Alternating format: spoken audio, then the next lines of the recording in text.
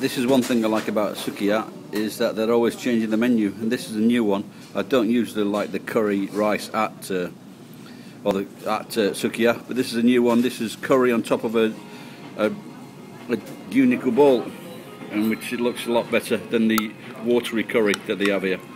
And I'll just try some.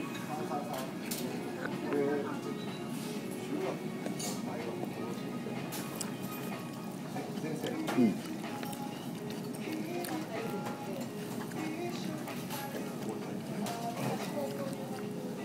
A bit too many onions for me, I think.